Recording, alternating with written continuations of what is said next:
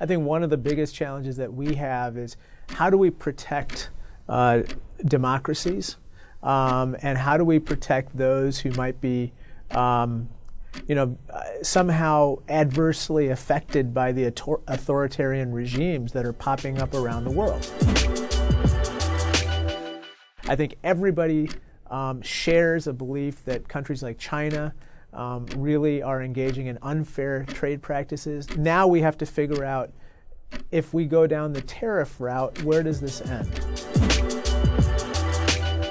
Further discuss climate change uh, which is uh, a global issue, uh, not only involving the environment, but also um, trade and commerce and uh, economies of the world. I just finished up a really good book called Startup Nation. It's the story of how um, Israel um, ha- is home to uh, an unusually large concentration of startup companies in the world.